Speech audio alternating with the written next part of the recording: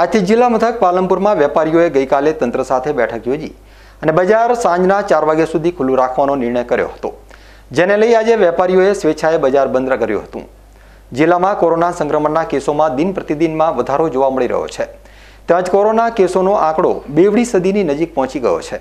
ત્યારે પાલનપુર શહેરમાં વધતા જતા કોરોના સંક્રમણને અંકુશમાં લેવા માટે પ્રાંત ઓફિસર અને વિવિધ વેપારી એસોસિએશન સાથે બેઠકમાં આગામી ત્રણ દિવસ સુધી પાલનપુર શહેરમાં સવારે આઠથી બપોરે ચાર વાગ્યા સુધી બજાર ખુલ્લું રાખવાનો નિર્ણય લેવામાં આવ્યો હતો. ત્યાં શુક્રવારથી મંગળવાર સુધી કુલ પાંચ દિવસ બજાર સંપૂર્ણ બંધ રાખવાનો નિર્ણય કરવામાં આવ્યો હતો. જોકે આજે પાલનપુરના વેપારીઓ બપોર બાદ બજાર બંધ કરી દેતા લોકડાઉન જેવા દ્રશ્યો જોવા મળ્યા હતા. સ્વયંભૂ વેપારીઓ સંપૂર્ણ બજાર બંધ કરવામાં સહકાર આપતા તંત્રએ હાશકારો અનુભવ્યો હતો.